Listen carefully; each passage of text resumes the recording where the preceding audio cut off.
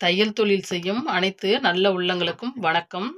இந்த வீடியோவில் நம்ம எதை பற்றி பார்க்க போகிறோம்னா தொழில்னு வந்து நம்ம ஸ்டார்டிங்லேயே நம்ம ஒரு கடை ஓப்பன் பண்ணாலும் சரி டைலரிங் கடையாக இருந்தாலும் சரி வேறு எந்த தொழில் செஞ்சாலும் சரி நம்ம ஆரம்ப கட்டத்தில் தொழில் ஸ்டார்ட் பண்ணும்போது என்ன நினைப்போம்னா இந்த தொழிலில் நம்ம எப்படியும் முன்னேற்றம் அடையணும். இதில் வெற்றி பெற்று நம்ம வாழ்க்கை நல்லா அமையணும். செல்வ செழிப்போடு நல்லா இருக்கட்டும் தான் நம்ம ஸ்டார்ட் பண்ணுவோம்.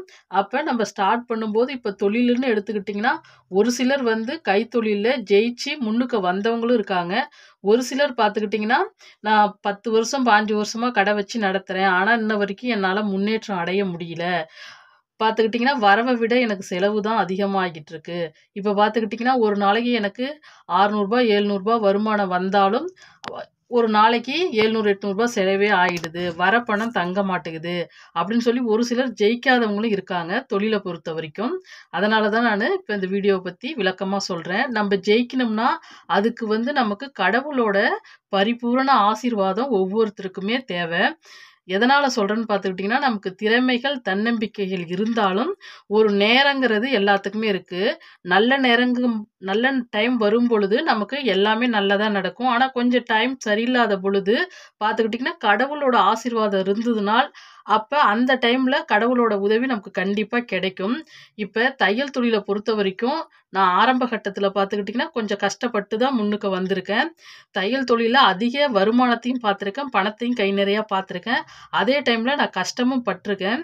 தையல் தொழிலில் பார்த்துக்கிட்டிங்கன்னா ஒரு கஸ்டமர் வந்து நம்மக்கிட்ட துணி கொடுக்குறாங்க அப்படின்னு சொன்னால் அப்போ அந்த கஸ்டமர் நம்மக்கிட்ட நான் உங்ககிட்ட நாளைக்கு துணி வாங்கிட்டு போயிடுவேங்க அப்படின்னு சொல்கிறாங்க அப்படின்னா நம்ம என்ன செய்கிறோம் தையல் தொழில் செய்கிறவங்க ஆஹா சரி நமக்கு தான் உடனே வந்து இப்போ நாளைக்கு துணி போயிடும் அப்படின்னு சொல்லிட்டு நம்ம கையில் வச்சுருந்த பணத்தை செலவு பண்ணிடுறோம். நான் நிறைய டைம் அதே போல் பண்ணியிருக்கேன். யார் யார் அந்த மிஸ்டேக் செய்கிறீங்கிறது எனக்கு தெரியாது. கையில் உள்ள ப பணத்தை செலவு செஞ்சுருவோம். சரி நாளைக்கு தான் கஸ்டமர் நம்மக்கிட்ட வாங்கிட்டு போயிடுவாங்களே நான் ஆரம்ப கட்டத்தில் அந்த தப்பு செஞ்சுருக்கேன். அப்போ பார்த்துக்கிட்டிங்கன்னா ஒரு டைம் அப்படி தான் ஒரு கஸ்டமர் வந்து என்கிட்ட இதே போல் நான் உங்ககிட்ட நான் துணி வாங்கிட்டு போயிடுறேங்க. இருக்கிற துணியெல்லாம் நீங்கள் மடித்து வைங்க. அப்போ வந்து அவங்க வந்து எனக்கு அமௌண்ட் வந்து ஒரு ஐநூற்றி இருபது ரூபா வந்து அமௌண்ட் அவங்க எனக்கு தரணும். சரி நமக்கு தான் ஐநூற்றி இருபது ரூபாய் வரப்போகுது அப்படின்னு சொல்லிட்டு பார்த்துக்கிட்டிங்கன்னா எங்கள் தெருவுலேயே வந்து காய் காய்கறி வண்டிக்காரங்க வந்திருந்தாங்க. அப்போ கையில் வந்து அப்போ ஆரம்ப கட்டத்தில் ஒரு அஞ்சாறு வருஷத்துக்கு முன்னாடி பார்த்துக்கிட்டிங்கன்னா சரி கையில் உள்ளது தான் நம்மக்கிட்ட இதேமாரி ஆயிடுச்சு அப்படின்னு சொல்லிட்டு செலவாயிடு ச- சரி கஸ்டமர் தான் இப்போ ஐநூற்றி இருபது ரூபா நமக்கு வரப்போகுதுன்னு சொல்லிட்டு நான் காய்கறி வண்டிக்காரங்க கிட்ட ஒரு இரநூறுபாய்க்கும் பொருள் வாங்கிட்டேன். இருந்த பணத்துக்கு வாங்கிட்டேன். அதுக்கு பிறகு பார்த்துக்கிட்டிங்கன்னா எனக்கு கையில் பார்த்தீங்கன்னா அந்த பணமும் போயிடுச்சு.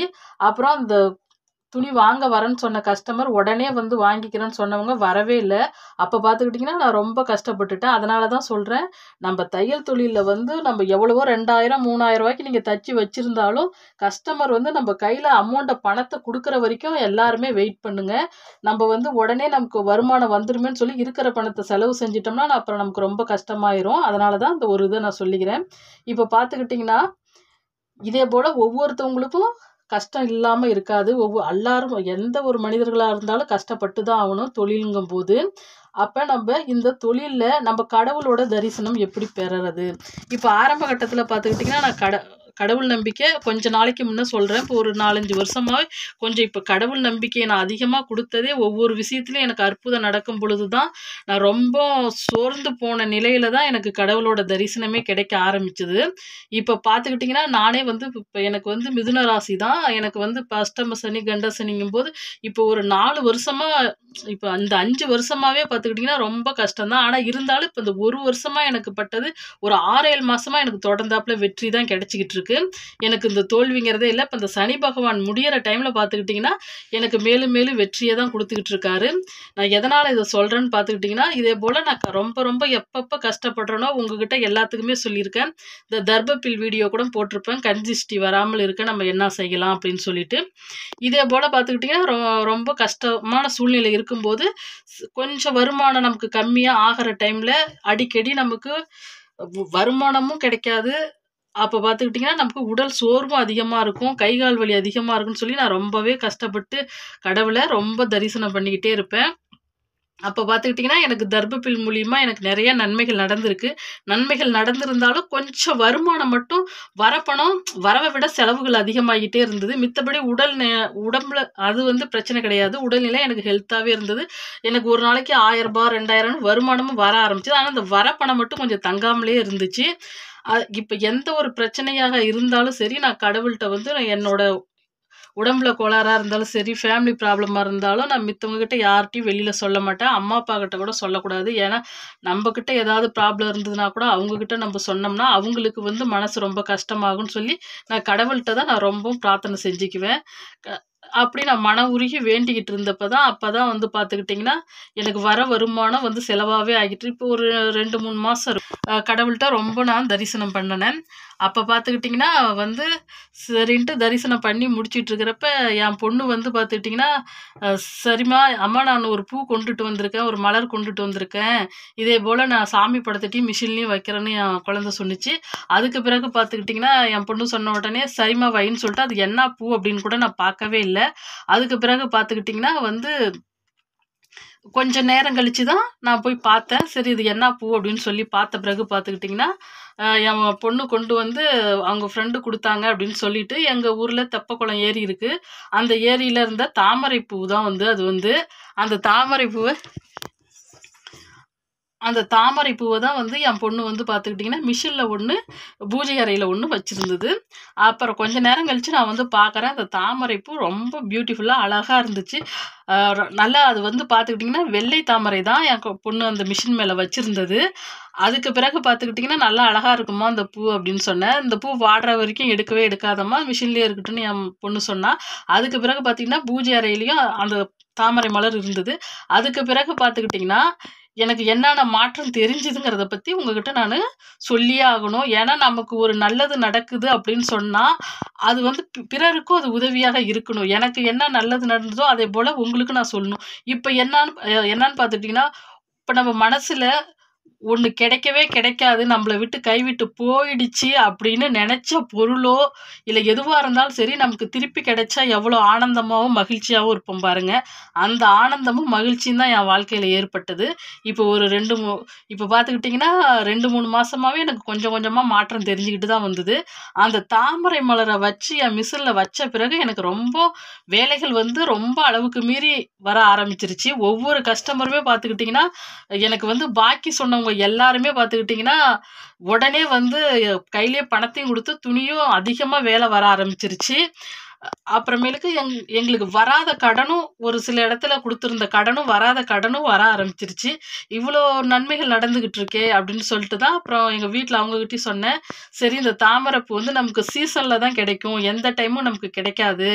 அதனால் நம்ம அந்த தாமரை பூ அதிகமாக அப்புறம் அந்த தண்டு இருக்குது பார்த்தீங்களா, அந்த தாமரை தண்டு, அந்த தாமரை தண்டை எடுத்துகிட்டு வந்து, இதில் வந்து நம்ம தீபம் ஏற்றினா இன்னும் நமக்கு பெட்டராக இருக்கும். இன்னமும் நமக்கு தெய்வ கலாட்சியம் மகாலட்சுமிக்கு உயர்ந்தது" அப்படின்னு சொல்லிட்டு, அப்புறம் அவங்க தான் வந்து அந்த தாமரை தண்டை வெட்டி, அதில் நார் எடுத்து, பா கொஞ்ச நாரை வந்து என்ன செஞ்சோம் அப்படின்னு பார்த்துக்கிட்டிங்கன்னா, அந்த கொஞ்சமாக நார் எடுத்து, அந்த தாமரை நார் எடுத்து விளக்குக்கு கொஞ்சம் யூஸ் பண்ணிக்கிட்டு, மீதி உள்ள நாரை ஒரு மஞ்சள் துணியில் நான் ஒரு மஞ்சத்தூள் அந்த நாரையும் வச்சு, அது உள்ளார பார்த்துக்கிட்டிங்கன்னா, ம ஒரு மஞ்சத்தூளில் முடிஞ்சு கொஞ்சம் மஞ்சள், குங்குமம் வச்சு, வெள்ளி காசு கொஞ்சம் சின்னதாக ஒரு வெள்ளி காயின் மாதிரி கொஞ்சம் வச்சு, என் மிஷின் ட்ராவ் இருக்குது பார்த்துக்கிட்டிங்களா, அந்த ட்ராவில் வச்சுட்டேன்.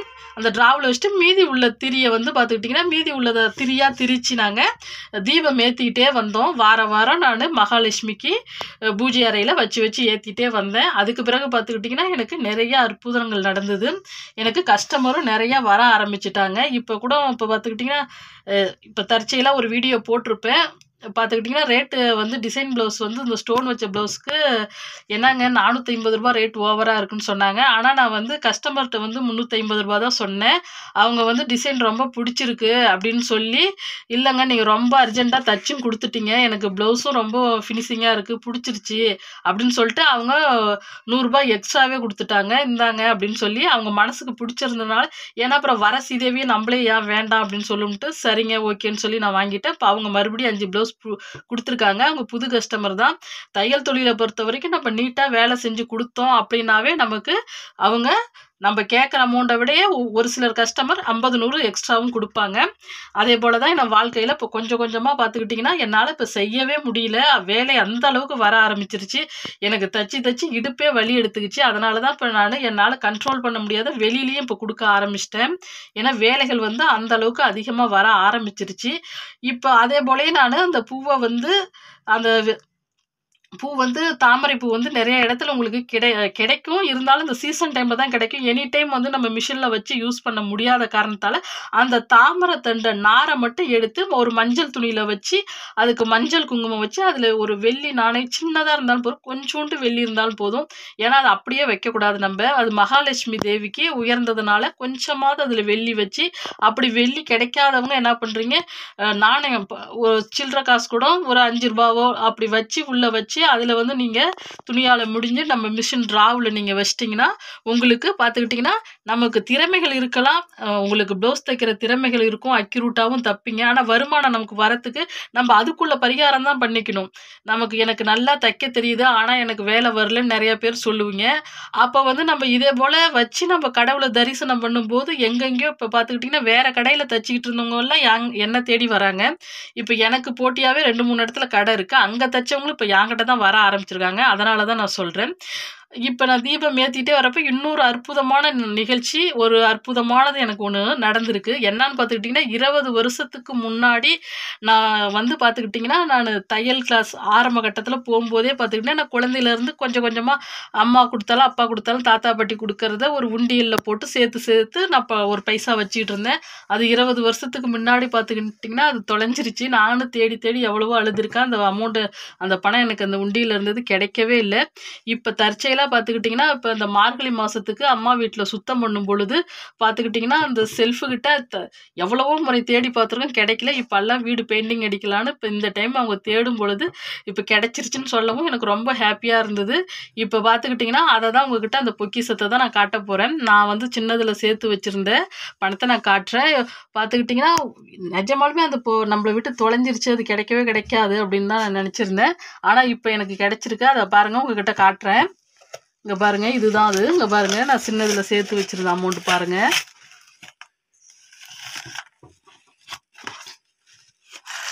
இங்கே பாருங்கள் இதெல்லாம் தான். இங்கே பாருங்கள்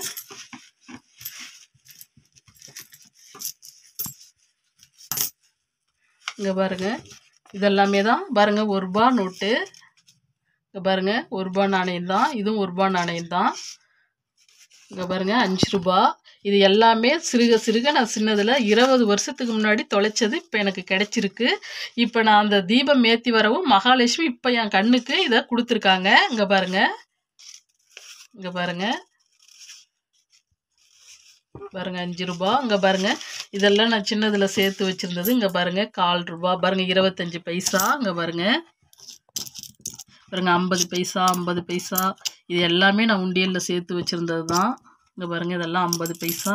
இது பார்த்துக்கிட்டிங்கன்னா அப்போ கிடைச்ச இருபது பைசா பாருங்கள் இது இருபது பைசா. இங்கே பாருங்க ஒரு ரூபா. இங்கே பாருங்க இருபத்தஞ்சி பைசா. இங்கே பாருங்க ஒரு ரூபா. இங்கே பாருங்க ரெண்டு ரூபா. இது எல்லாமே பாருங்கள் ஐம்பது பைசா. இங்கே பாருங்கள் எல்லாமே நான் சின்னதில் இங்கே பாருங்கள் ஒரு ரூபா பாருங்கள் இது வந்து கொஞ்சம் பெருசாக இருக்கும். இந்த ஒரு ரூபா இந்த ஒரு ரூபா வந்து கொஞ்சம் சின்னதாக இருக்கும். பாருங்கள் இது எல்லாமே நான் எங்கள் தாத்தா கொடுத்தது பாட்டி கொடுத்தது அம்மா கொடுத்தது அப்பா கொடுத்ததுன்னு அவங்க எனக்கு செலவுக்கு கொடுத்தாங்கன்னா நான் அவங்க ஞாபகத்தமாக உண்டியில் போட்டு வச்சுட்டே இருப்பேன். எப்பயுமே உண்டியில் நான் காசு சேர்த்து வச்சுட்டே இருப்பேன். இங்கே பாருங்கள் ரெண்டு ரூபா. இங்கே பாருங்கள் ரெண்டு ரூபா. பாருங்கள் அப்போலாம் பாருங்கள் ரெண்டு ரூபா தொட்டி எவ்வளோ பெருசாக இருக்குன்னு பாருங்கள் இப்போ வர ரெண்டு ரூபா தொட்டு கொஞ்சம் சின்னதாக இருக்குது இங்கே பாருங்கள் ஐம்பது பைசா தான் இங்கே பாருங்க ஒரு ரூபா இந்த ஒரு ரூபா கொஞ்சம் சின்னதாக இருக்குது இங்கே பாருங்கள் இதில் பாருங்கள் நான் ஒரு மஞ்சள் துணியில் இந்த பணத்தை நான் அப்பயே வந்து டைலரிங் கிளாஸ் கற்றுக்கிட்டு நல்லா துணி தைச்சா வந்து நான் வந்து எங்கள் ஊர் வந்து நான் பிறந்தது வந்து பார்த்துக்கிட்டிங்கன்னா அரும்பாவூர் தான். அங்காளம்மனுக்கு வேண்டிக்கிட்டு இதேமாரி நான் நல்லா துணி தைக்கணும் நிறையா கஸ்டமர் வரணும் அப்படின்னு சொல்லி நான் வேண்டிக்கிட்டு உண்டியலில் முடிஞ்சு வச்சுருந்தேன். இங்கே பாருங்கள் பதினோரு ரூபாய் முடிஞ்சு வச்சுருக்கேன். இங்கே பாருங்கள் அந்த பத்து ரூபா நோட்டை பாருங்கள் அப்போ பத்து ரூபா பாருங்கள் இப்படி தான் இருக்கும். இங்கே பாருங்க. இங்கே பாருங்க பதினோருபா இங்கே பாருங்க நான் அங்காளம்மன் கோயிலில் இந்த நாணயத்தை போடுறதுக்காக உண்டியலில் போடுறதுக்காக நான் முடிஞ்சு வச்சுருந்தது. இப்போ அந்த அங்காள பரமேஸ்வரிக்கு இப்போ தான் தரிசனம் கிடச்சிருக்குன்னு நினைக்கிறேன். நானும் நல்லா தைச்சி நல்ல பேரும் வாங்கிட்டேன். இப்போ இந்த பணம் என் கைக்கு கிடச்சிருக்கு. இதை நான் உண்டியலில் போட்டுருவேன். நல்ல நாளாக பார்த்து ஒரு விசேஷ நாளில் அம்மாவுக்கு உயர்ந்த நாளில் பார்த்து நான் போட்டிருப்பேன்.